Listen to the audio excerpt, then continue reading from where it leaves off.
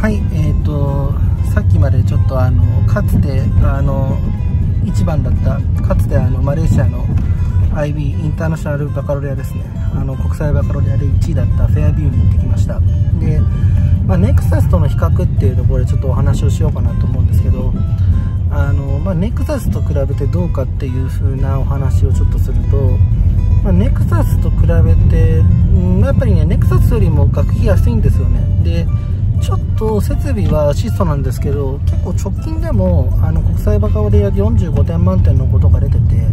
まあ、そういう意味ではやっぱり真面目にしっかり勉強してればあのかなりいいスコアであといい大学への進学っていうのは世界的にやっぱり有名なそのメルボルンだったりとかああいったところへの進学っていうのはかなりできるんだなというふうな印象を持ちました。でただまあそのなんていうんだろうやっぱり確率論って意味で言うと結局なんていうんだろうまあみんなこう学校選ぶ時にやっぱり進学実績とかって見ると思うんですけど最終的にはやっぱり自分の子供がこう、まあ、いわゆる名門難関大学にこう進学できるかどうかっていうところが一番大事で、まあ、多分本当にそれに尽きるのかなと思うんですよねでそこの部分をこうどういうふうにできるかどうかっていうところがやっぱり鍵なのかなっていうのはあの見てて思う部分ではすごくあったりはするので。まあ、本当にそれができるのかなっていうのをちょっと改めてあの考えていかなきゃいけないかなっていうところがあってそこができるかどうかで多分だいぶ、えー、違うかなと思うのでちょっとそこはまた改めて見ていきたいなというふうには、えっと、思ったところです。結局何て言うんだろう。こうその誰かが合格したっていうのと自分の子供が合格するとは全然違う話なのでそれで、まあ、やっぱりこうアメリカで例えばそのサンノゼシリコンバレーの、まあ、学区もちろんものすごいあの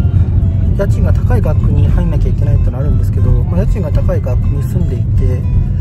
でそこであれば例えば公立学校とかでもその8割方はもうカリフォルニア大学行ってるみたいな学校も中にあるわけですよね。特にアジア人だと。っていうところがあって、ぱりこうそういうところに入るとこう死に交われば赤くなるで、まあ、もちろんもともと勉強に向いてなかったらその入れない残り20%になるかもしれないけど、まあ、入れない残り20%も例えばサンノゼ中立大学とかコンピューターサイエンスなんかめちゃくちゃ Google とか Apple とか入ってるんでやっぱりそういうところ入るのいいだろうなっていうふうに思うしとかなんかすごいこうグローバルになってるように見えて本当にグローバルになったんで僕優秀な人たちだけで、まあ、一般的な人たちってのはもう大体の場合は割とローカルに生きてるなってのをすごい今回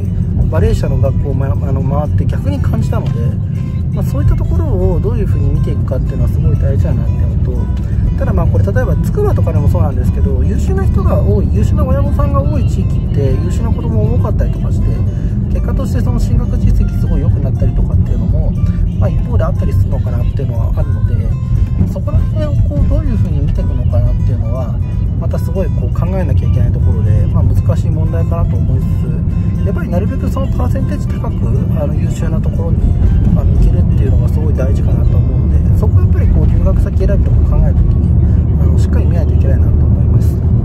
勉強しなきゃでもサボっちゃうそんなあなたのために毎日やるから合格できる毎日学習会はい